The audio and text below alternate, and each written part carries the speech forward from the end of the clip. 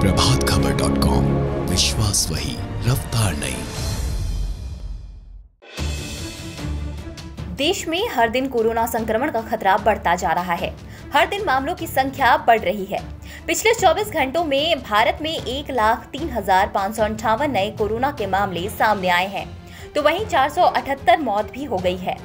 ये संख्या बड़ी इसलिए है क्योंकि नए साल में, यानी 2021 में, कोरोना के देश में रोज़ाना के मामलों में ये सबसे ज़्यादा है।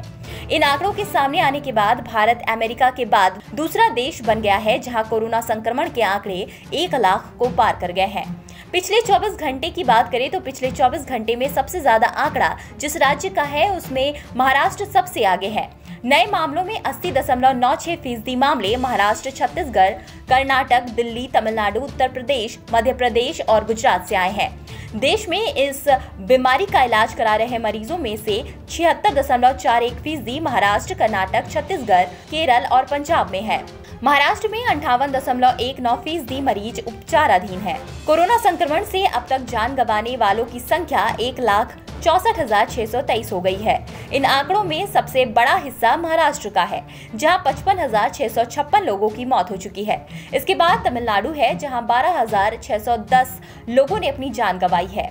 वहीं दिल्ली में ग्यारह हज़ार साठ, पश्चिम बंगाल में दस हज़ार तीन सौ चालीस, यूपी में आठ हज़ार आठ सौ पचास, आंध्र प्रदेश में सात हज़ार दो सौ चौंतीस और पंजाब में सात हज़ार बत्तीस लोगों की मौत हुई है। आंकड़ों पर गौर करें तो पाएँगे कि ये 19 सितंबर 2020 के बाद कोरोना संक्रमण के बाद सबसे बड़े आंकड़े हैं। 19 सितंबर को कोविड 19 के तिरानवे मामले आए थे। रविवार को आए आंकड़ों के मुताबिक कोरोना महामारी से 513 और लोगों के जान गंवाने से मृतकों की कुल संख्या बढ़कर एक लाख चौसठ हज़ार छह सौ तेईस हो गई है। संक्रमण के मामलों में लगातार पच्चीसवें दिन तेज़ी दर्ज की गई है।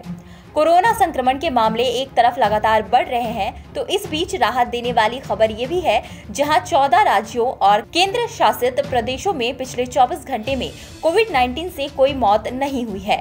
इन राज्यों में ओडिशा, असम, पुडुचेरी, लद्दाख, दादरा और नगर हवेली, नागालैंड, मेघालय, मणिपुर, त्रिपुरा, सिक्किम, लक्षद्वीप, मिजोरम, अंडमान और निकोबार और अरुणाचल प्रदेश शामिल हैं। महाराष्ट्र, छत्तीसगढ़, पंजाब, कर्नाटक, दिल्ली, तमिलनाडु मध्य प्रदेश गुजरात, हरियाणा, राजस्थान, उत्तर प्रदेश और केरल समेत 12 राज्यों में संक्रमण के रोज आने वाले मामले बढ़ रहे हैं। प्रभात खबर डॉट कॉम, विश्वास वही, रफ्तार नहीं